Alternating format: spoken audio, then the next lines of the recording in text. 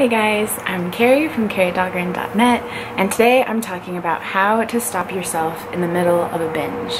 Um, I used to be a binge eater for a very long time before I discovered the psychology of weight loss.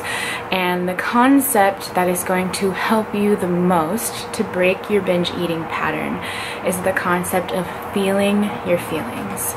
Because the reason why we want to overeat in the first place is because there is a feeling somewhere inside of you that you don't want to feel. And most of the time, you have no idea it's there. So the tool that I use to get myself to stop in the middle of a binge is what I call the stop, drop, and feel. If you catch yourself binge eating, you need to stop, drop into your body, and feel your feelings. This can be really hard to do if you are in the middle of a really intense binge. It's often really hard to break the momentum. So the trick I use is I tell myself that I can get back to the binge once I'm done. So when you're in the middle of a binge, make yourself a deal that you're gonna try the stop, drop, and feel thing.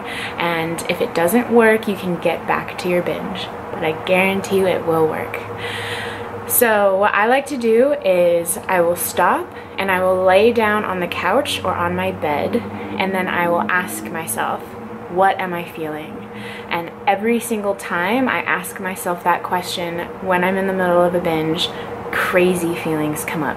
Feelings, intense feelings that I had no idea were even there, start to bubble up. For example, um, I haven't been, I haven't binge eat haven't been binge eating for a very long time. Ever since I gave up dieting, um, my binge eating episodes went way, way, way down. Um, but last week, I was dealing with some really intense, almost like a personal crisis, and I found myself binge eating almost every day for like five days in a row. And I was chalking it up to stress and um, unhealthy cravings, but deep down I knew that that's not the real cause of a binge. I knew that there's a feeling in there that I wasn't feeling. So on the fifth day, I finally stopped myself, laid down on the couch, and asked myself, what am I feeling?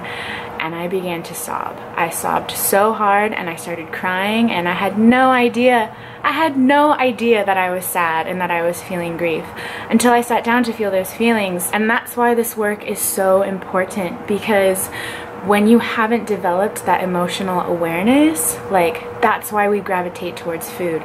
We have no idea that the emotional pain is even there to begin with, that we don't know to drop into our body and give those feelings the attention they need to pass.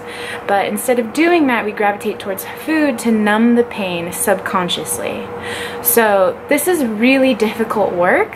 Um, the thing that I'm asking you to do is really difficult um, and that's why diets are so seductive because they give you this external thing to fixate on right? Like if you eat the right foods at the right time in the right proportion like you'll never have cravings and you'll never binge and it doesn't work because it never addresses the feelings that are going on inside of you that you need to pay attention to. So the next time you're in the middle of a binge try the stop drop and feel.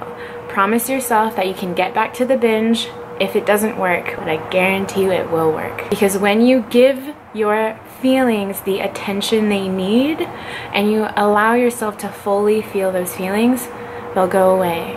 And when the feelings that are driving you to overeat go away, the desire to overeat goes away as well. It always surprises me every single time I do this. I sit down, I feel my feelings, something crazy bubbles up, and I just let myself ride the wave and feel the feeling. And every single time, the desire to overeat goes away. This is a skill that you can develop through practice. This is very difficult. Give yourself a lot of credit because this is the most difficult work that I have ever done and gets easier through practice. Um, just like any other skill, repetition builds skill. So give it a whirl, um, start practicing it every single time you want to binge eat, and let me know in the comments below how it works for you because I really want to know. Um, signing off, my name is Kari from karidahlgren.net. If you like this video, please give it a thumbs up and don't forget to subscribe to my channel. I post new content every Sunday. I will see you guys next week. Bye.